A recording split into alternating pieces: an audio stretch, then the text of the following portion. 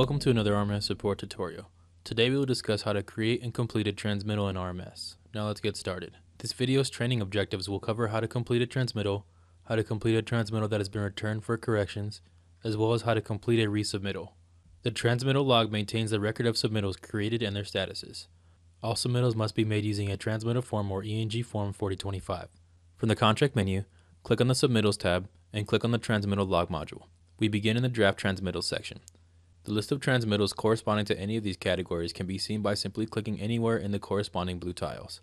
We can see the transmittals in pending government receipt, transmittals in review, pending contractor acknowledgement, and completed transmittals for this particular contract. The first step in creating a submittal is, is, the initiation of the transmittal form ENG form 4025. This is the transmittal document that identifies the items that are being submitted. Click on add to initiate the 4025 and select the items to be submitted. The specification sections which have unsubmitted items will display.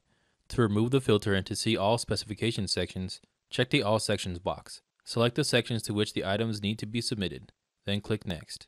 All the items associated with the selected specifications that must still be submitted are displayed. These include those items that have been previously submitted but were not accepted or approved by the government and therefore require submittal. To remove the filter and to see all the submittal items, check the All Submittal Items box. A transmittal can contain more than one item, but all items in the transmittal must have the same classification. Once the first item is selected, only those items with the same classification can be picked. Select all items to include the transmittal, then click Next. Complete the transmittal number in the subsequent data entry screen. RMS automatically inserts the next item number in sequence. However, the number can be manually entered if desired. The number 0 will display for new transmittals in the item number extension. RMS will automatically insert the next number in sequential order for a retransmittal. Although this can be changed manually, it is recommended not to. Then click Finish. The transmittal form has now been drafted. It can be viewed at any time by clicking the 4025 report widget. However, before it is ready to submit, make sure the editable fields are completed. Attach the actual documents that make up the item and notify the government if any items are marked with variation. The number of copies should already have been input by your USACE representative.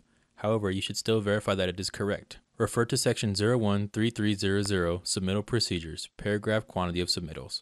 The item's classification was entered in the submittal register. It should not be changed here to avoid having items with different classifications on the transmittal. RMS has automatically inserted the QC code A on all items. While permitted to change it by clicking on the QC code box and selecting another code, using any other code may result in the submittal being returned for corrections. Your quality control manager should have reviewed the submittal and its inclusion on the transmittal, ensuring that the item conforms to the contract. If it is not in conformance, do not include it on the transmittal unless you are deliberately submitting a non-conforming item as a variation. If that is the case, place a check mark in the variation box for the item.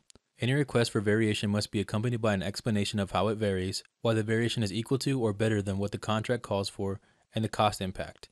Variation should not increase the cost of the contract.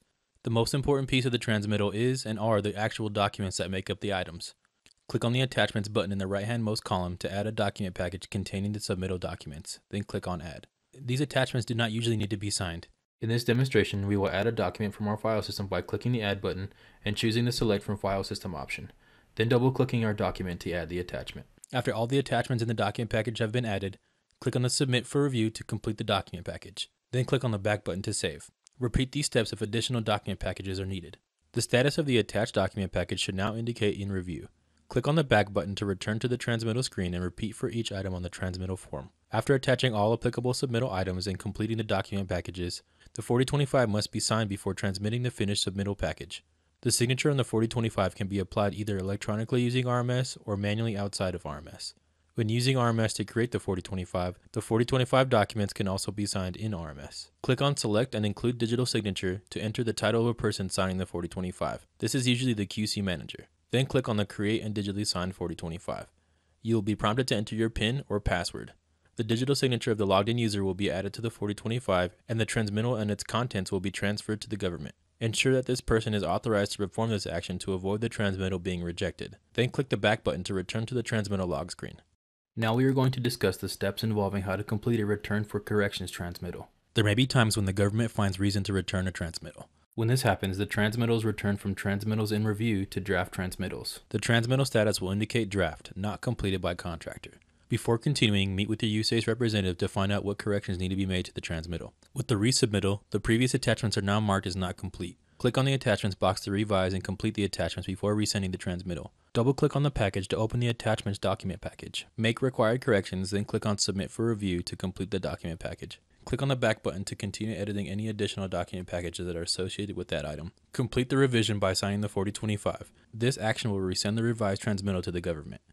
When the government has completed its review, the transmittal is then returned to pending contractor acknowledgement. Take note of the QA code assigned to each item and comments that may have been entered in the government remarks to contractor block.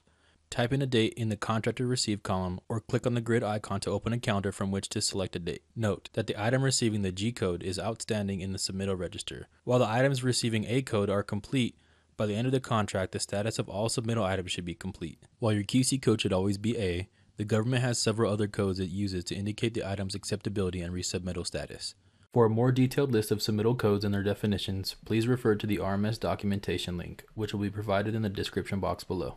Items receiving QA codes C, E, G, or X require submittal. Code G may also be used on items classified GA. Code X may also be used on items classified as DA, CR, DACR, or DAGA. RMS recognizes when an item was previously submitted and is being resubmitted. The transmittal for the resubmitted item will retain the same number as its original transmittal, except that its original resubmittal status will be identified by a decimal point followed by the iteration number. While it's possible to change a number, it is recommended that it not be changed.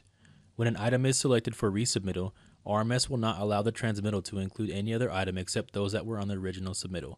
When a new or never submitted item is selected, RMS will not allow inclusion of any previously submitted items, including those requiring submittal. To complete a resubmittal, Follow the instructions in the submittal process as previously described in this tutorial. In summary, we discuss how to create and complete a transmittal, how to complete a transmittal that has been returned for corrections, as well as provided information on resubmittals. As a reminder, follow your district policy before proceeding with any submissions of transmittals or applying QC codes. Working closely with your government representative will ensure a smooth and simplified process. If there are any technical issues that occur within RMS, please contact the RMS Support Help Desk by submitting a support ticket. We hope you found this video informative and thank you for watching.